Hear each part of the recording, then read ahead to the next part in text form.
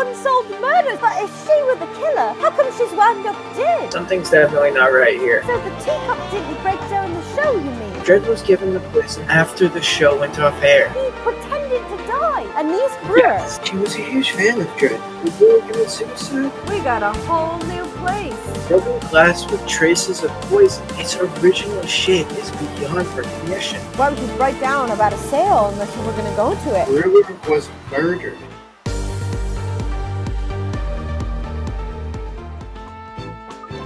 She an accomplice of the real killer then? Do you think? Killed to shut her up or something? What do you think? Do you think she was an accomplice? Well, she must have known about the pra- She may have known about the practical joke.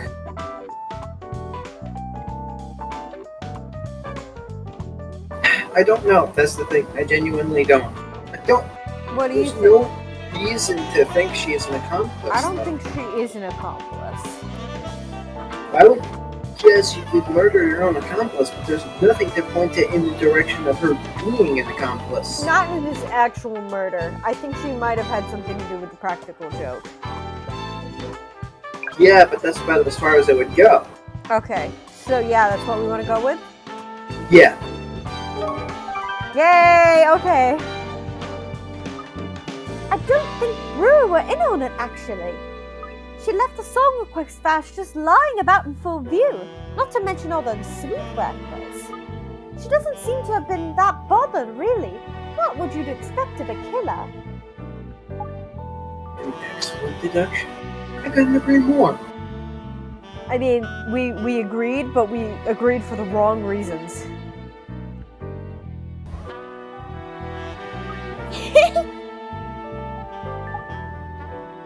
Too much evidence left behind in this room. If she'd known about the plan to kill Dread, she would have been tidier. She wouldn't have wanted to get caught. All likelihood, I imagine Dread approached Brewer. He would have told her of his plans for a great practical joke and asked her to help him. Aye, that makes sense. That's why she was totally unfazed after hearing Dread collapse and make notes about sales in the shops. Exactly. So, the real killer used Brewer without her even knowing about it. Kit to kill her absolute idol of all people. Yes, a contemptible, tricky murderer. So, who were it then? Who's behind all this? I believe I know who it was. Do you know who it was? No. No clue at all. I mean, following the plot, following what we know in our interactions so far, going off of the game interactions, it's Holiday. Really? But so far, we've based off of the game interactions. Okay. Do you? Yes, Brewer's killer and Dread's killer were one and the same. I expected you've most have figured it out by now, haven't you, Lucy? So, who is the real culprit in this case?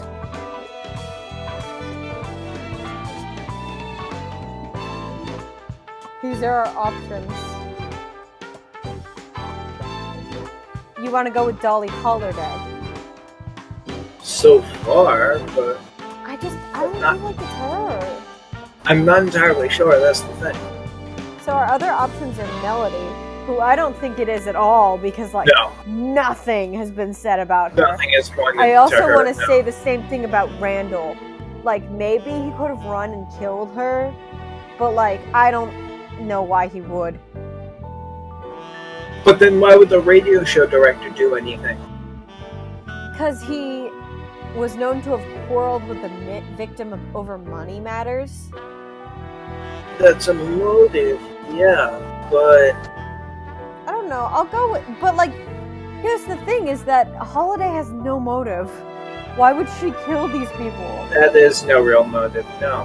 That's the only thing that makes where it's like also one just talking with her it's very clear that she's not.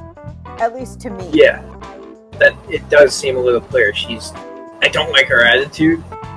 So the only thing that makes sense would be Mike. But okay, do you want to go with Mike? We'll try Mike. Okay. Because I just don't think it's holiday. That doesn't make sense.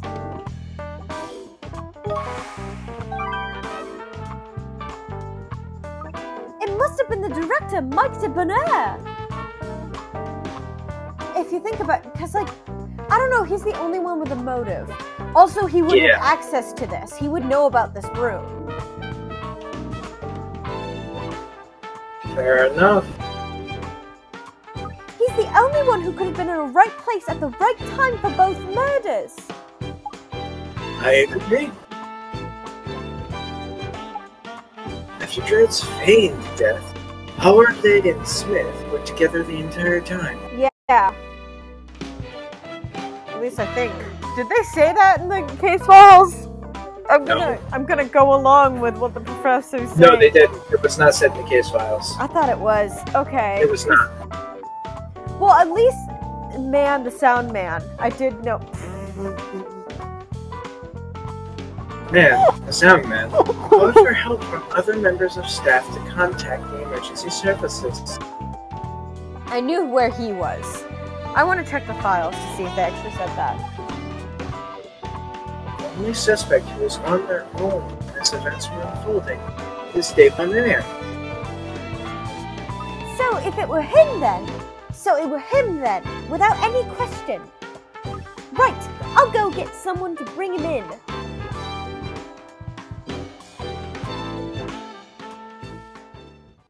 Yes, there's no that de Bonaire is the culprit, but still, there's one final piece of the puzzle missing. Yeah, I do feel like I do feel like there's something not like th- it doesn't feel quite right. Like I, I still don't entirely get why he's the. I get why, but it's also like it doesn't feel like yes, that's definitely him. If that makes sense, right? Yeah, The cases are getting harder. a little bit, yeah. Oh, good music coming up. No question now that de Bonaire is responsible for the deaths of Dread and Brewer. Let's get him.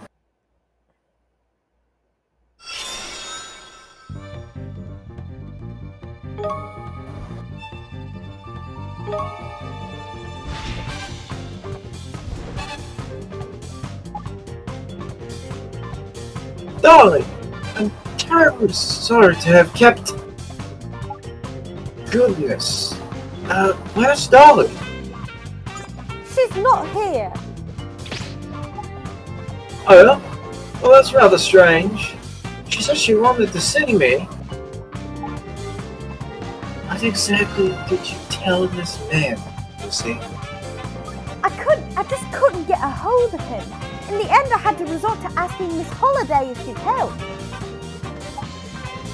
Ah, that little minx. She doesn't know who she's messing with. Um, allow me to apologize, Mr. de Bonaire. I had no idea this had gone on. Oh, well, no, no, not at all. I can hardly blame your lovely assistant. Um, I'm the one who talked to you. After all, if a man allows himself to be duped, it's usually for less than honorable reason. I don't know if that says what you wanted to say about you. Anyway, I must be getting back. Just a moment, please, Mr. de Bonaire. We do actually have a few questions we'd like to ask you. Oh, well, it's, uh, often that a pretty young girl chat with an old fogey like me. So, why not? But it better be something important enough to warrant dragging me out of bed, hmm? Um, uh, well, it's, uh, uh... Yes, this is an extremely serious matter. It seems you may well be responsible for the deaths of two innocent people, you see.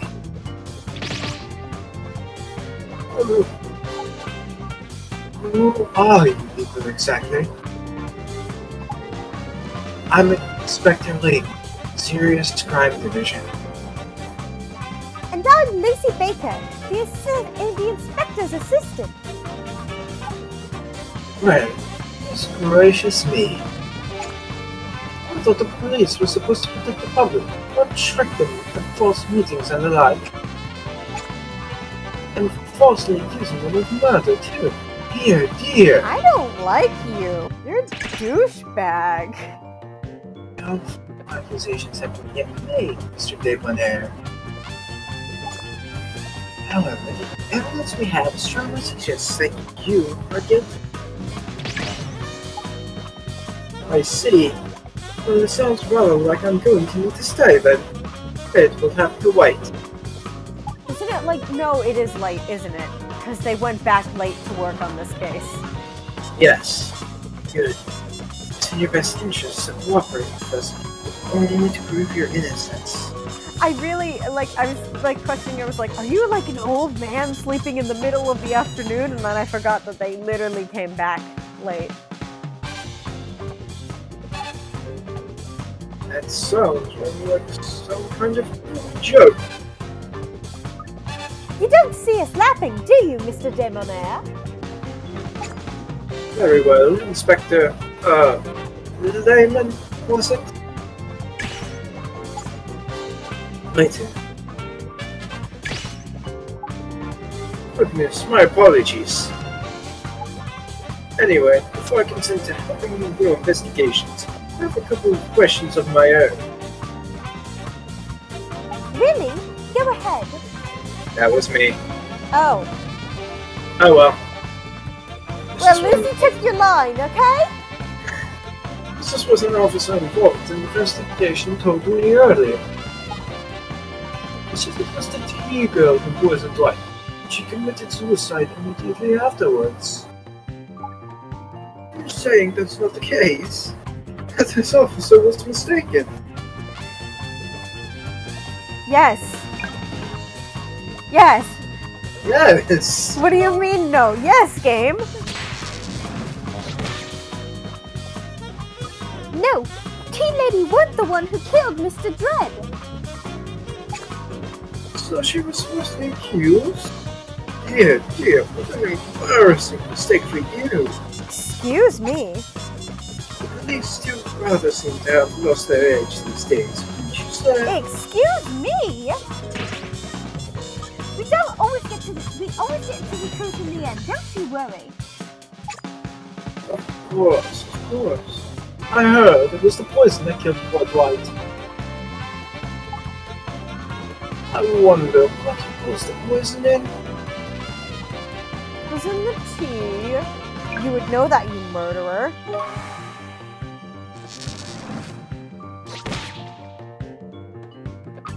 Mr. Dread was killed by a lethal poison that were put in the tea. Yes, that's what I heard.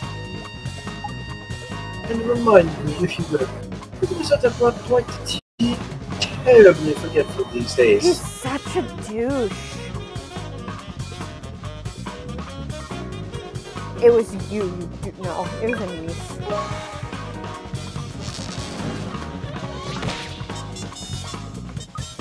It was a tea lady by the name of Anise Brewer who brought the drinks into the studio. Ah, yes, of course. I remember now. A pretty young girl, if I'm not mistaken. Yes, that's right. She brought the tea to Dwight. Tea laced with poison. You can't be sure that the tea already contained the poison at that point in time. Oh, is that so? Well, I'm intrigued. Tell me, when was the poison added? Um, after the show was interrupted. That's the only time that makes sense, yeah. That would be the time when he could get it.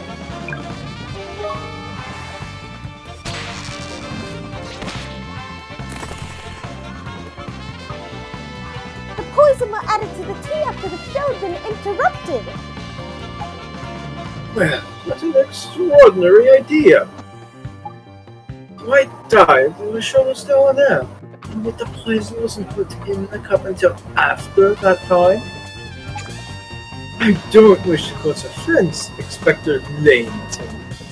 But is your assistant simple, perhaps? Simple? Hey, I heard that!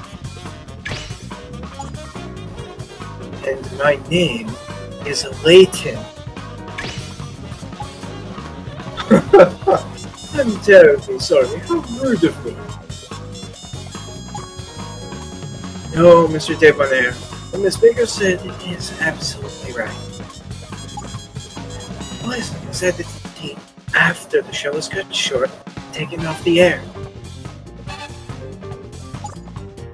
I'm sure I don't need to spell out to you what that means.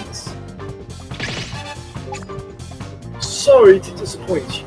but You've completely lost. Some are rather too fanciful for an old chap like me.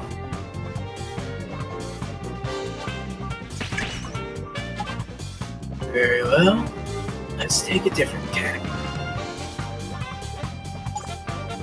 Why don't we talk about the wig? The wig? I, I assure you, as as I may be, this is all my own hair. Mr. Dread's wig. Ah, I see. Yes, Dwight's wig. Did you notice that the victim's wig had fallen off his head? A matter of fact, I did, yes.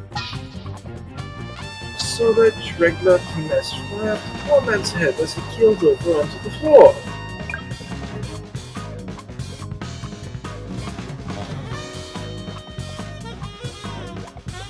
After Dwight had, uh, when I ran over to Dwight, his wig has fallen off his head. I saw the massive dreadlocks fall with his own eyes.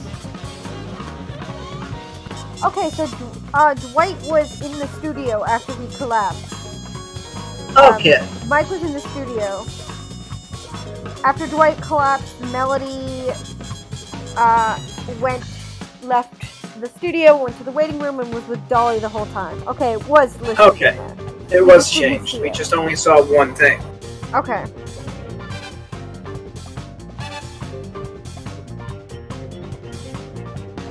Yeah. Okay, cool. It's very strange.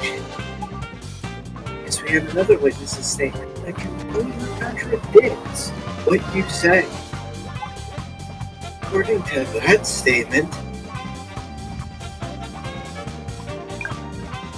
There we are. Dolly said it. It's Dolly to the rescue. Dolly said the wig didn't fall off. Mr. Greg collapsed during the show, his wig was definitely still on his head. That's what this witness told us. the person in question even went so far as to say how shocking it was to see the victim without his wig. Oh, um. Oh, yes, of course. I'm terribly sorry, you're quite right. I've mixed things up in my head. When Dwight actually collapsed, it's true. Wig didn't come off. It must have been when I ran over him and shook him. I couldn't help myself. It's in the blind panic. That must have been when it happened. He must have shaken his wig off his head. When I ran over to Dwight, his wig hadn't fallen off his head. I suppose I shook him too hard. His wig fell off then. I was beside myself with worry, you see. I see. I do apologize for getting so muddled up. I understand, Mr. Debonair. People's memories are very curious things. Yes, quite. There's just one other thing I'd like to double check with you. Did you notice Mr. Jet drinking his tea is all? Oh yes, I saw him drinking. It's pretty sure he ate one of those macaroons first. No doubt that made him thirst, and when he took a sip of tea that he suddenly would choke. Rest I think you know. I see.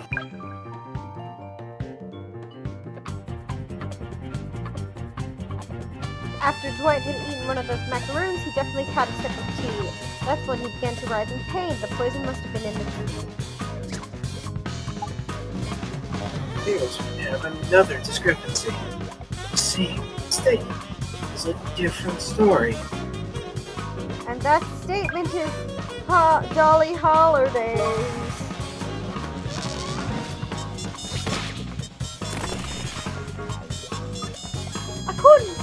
Holiday, Mr. Dread never touched his tea. Know what I mean?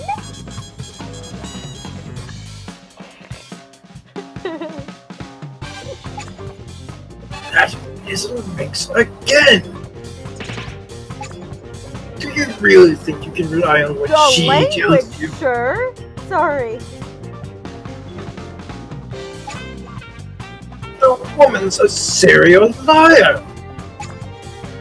Why, she even lied to me in order to get me to this meeting, for goodness sake!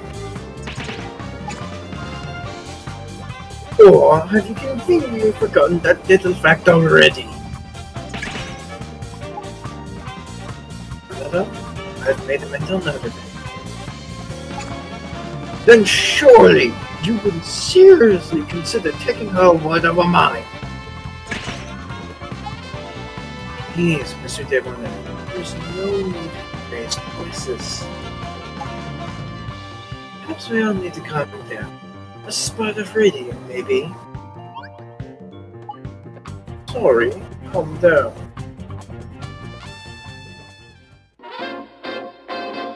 We've got a very special guest in the studio today, people.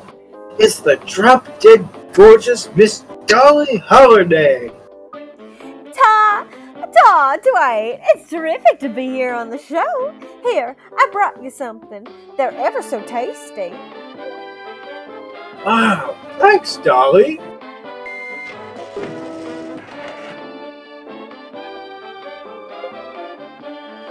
That sounds like a fax coming in already.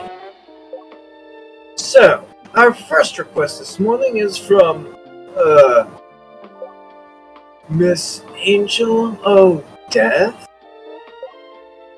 I'll be the death of you. Whoa. Sounds like someone wants to turn DJ Dwight Dread into DJ Dwight Dead. Don't you go down on me, Dwight. I'd never live it down. Well, if I'm about to sign off for the last time ever, allow me to try one of your mouth-watering offerings first.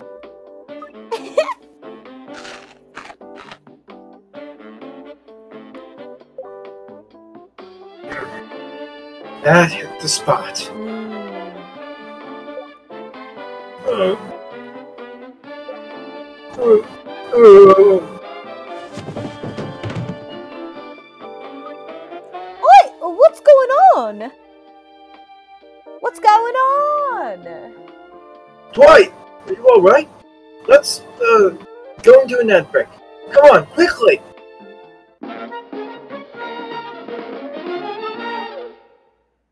The Grand Fair sale is now on. No store has more or less, so get down to Daybridge today.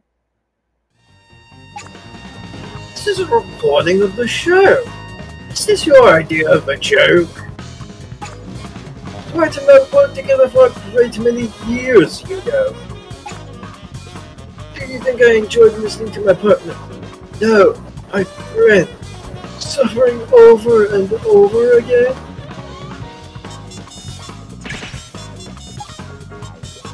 Very sorry if this you any distress. However, this recording actually proves this holiday statement is true. I don't understand. Christy, would you care to explain?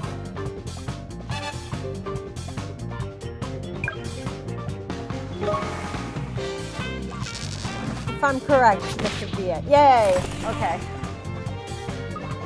There were a broken teacup at the scene of the crime. But not even a hint of the sound of china breaking on the, or the recording of the show. Well, obviously the microphone just didn't pick it up. Patently know really little about radio. Mike defective. Clearly make out the sound of the Vixen collapsing. Shh, would expect the noise of the cup smashing, even more clearly audible.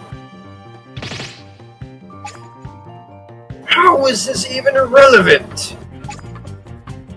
It was the tea girl who poisoned this drink. We all know that! Does it really matter whether you can hear a teacup breaking on the recording or not? I mean, I ask you. Matters a great deal. A cup that didn't break is broken. A wig that didn't fall off. Oh. It's not that one witness or another failed to spot something. Inconsistency. Sorry. I had to point out that one. No, the crime scene changed subtly between the transmission being interrupted and the police arriving. Thank you. The question is then, why? How on earth should I know? Miss Baker and I have come up with a hypothesis. We speculated that when the victim collapsed during the show, he was in fact pretending to die. Oh don't be absurd, man! I, too, thought it unbelievable first. But if you accept that, everything else falls into place. Lucy? Mr. Dread and yourself discussed the idea of a practical joke before the show. You probably fixed it on him drinking some tea and then starting his, oh no, I'm dying But when they came to the Black Show, Mr. Dread improvised a few changes. Instead of the tea that kicked everything off, he went for one of Miss Holiday's macaroons. After the performance, once everyone had left the studio, Mr. Dread got up. Miss Holiday and Miss Smith were in the waiting room, and Mr. Mann had gone to call the police. We should leave only one other person in the studio. You, Mr. Debonair. No doubt he made a fuss over Mr. Dread and how great he'd been. Then, and then you offered him some tea. Tea laced with poison, that is. The poison hit him that bad. He dropped the teacup and it smashed on the floor. And, and as he crashed to the floor himself, his wig flew off his head. It's these few minor details that would cause the inconsistencies at the scene. Though Mr. Dread collapsed after eating the macaroon, the poison was found in the tea. And though his wig was still on his head after he collapsed on the show, later it was found lying on the floor. behind the death of DJ Dwight Dread, and you know it!